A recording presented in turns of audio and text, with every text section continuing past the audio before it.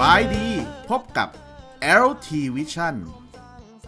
ลาว คุมเข้มชายแดน สกัดโควิด -19 จากต่างประเทศ หนังสือพิมพ์เวียงจันทร์ไทมส์ครับได้รายงานว่า รัฐบาลลาวได้มอบหมายหลายหน่วยงานทั่วประเทศเลยนะครับ ช่วงนี้ว่าให้ตรวจสอบพื้นที่พรมแดน แล้วก็บันทึกข้อมูลผู้เดินทางเข้าประเทศอย่างเคร่งครัด เพื่อป้องกันแล้วก็ควบคุมการแพร่ระบาดของโรคติดเชื้อไวรัสโคโรนาสายพันธุ์ใหม่หรือโควิด -19 รายงานข่าวครับยังได้ระบุว่าชาวลาวที่ทำงานในประเทศไทยและประเทศอื่นๆ ก็สามารถเดินทางกลับประเทศได้นะครับ แต่ต้องเดินทางเข้าประเทศผ่านด่านจุดตรวจพรมแดนอย่างเป็นทางการ เพื่อตรวจหาเชื้อโควิด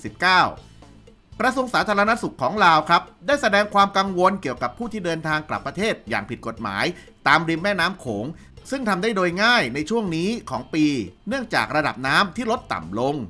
หน่วยงานท้องถิ่นของลาวเผชิญความท้าทายอย่างต่อเนื่อง ในการตรวจสอบผู้เดินทางข้ามพรมแดน และช่วยเหลือแรงงานที่เดินทางกลับจากต่างประเทศ เนื่องจากได้รับผลกระทบจากโรคระบาด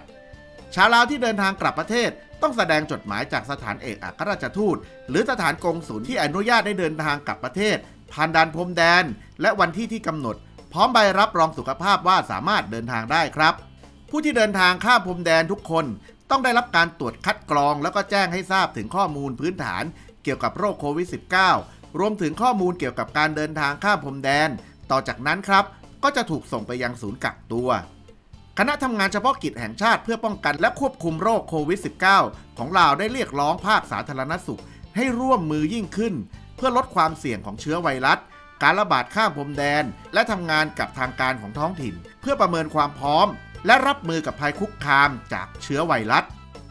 พบกันใหม่กับ LT Vision ในครั้งหน้า สบายดี